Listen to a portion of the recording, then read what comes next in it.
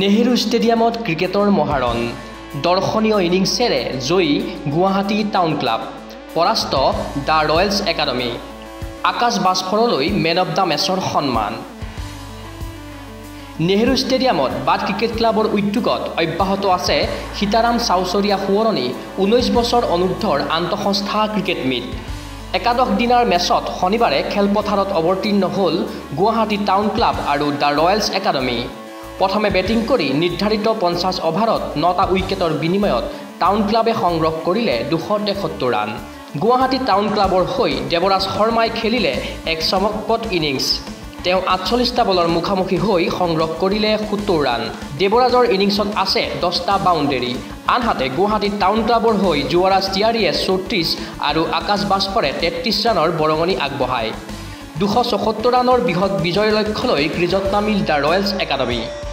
Royals একাডেমীৰ হৈ ৰাজেশ ছিদ্দিকে সাতচল্লিছ অৰ্ণৱ কাশ্যপে ঊনত্ৰিছ আৰু তৰুণ ৰাজে খেলিলে একৈছ ৰানৰ ইনিংছ।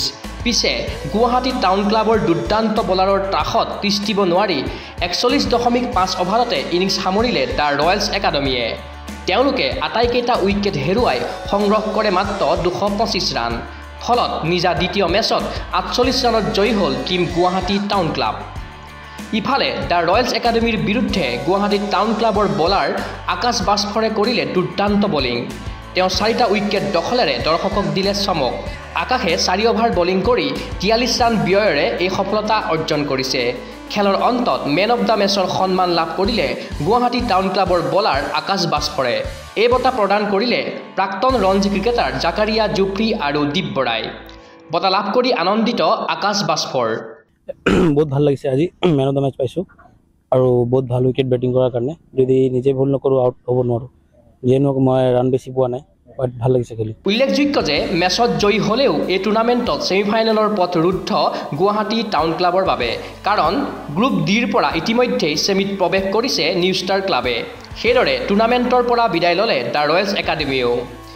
নিজা অন্তিমখন লীগ মেচত অংশ লৈ অভিজ্ঞতাৰ কথা ক'লে টাউন ক্লাবৰ অধিনায়ক মহদানন্দ বৰাই।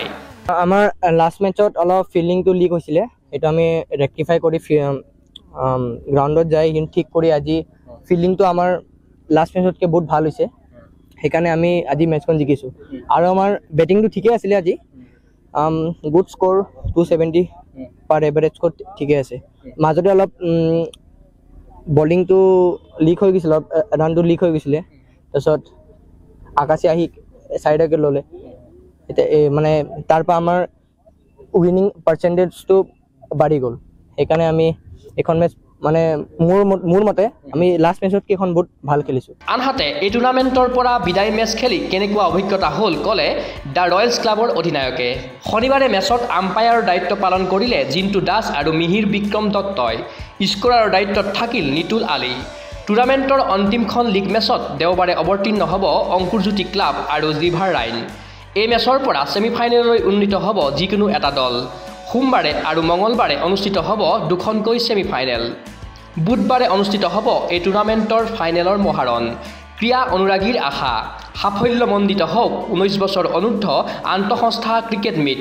ভিডিঅ' জাৰ্নেলিষ্ট ভাৰ্গৱৰ সৈতে চিন্ময় বৰাৰ প্ৰতিবেদন অলিম্পিয়া স্পৰ্টছ।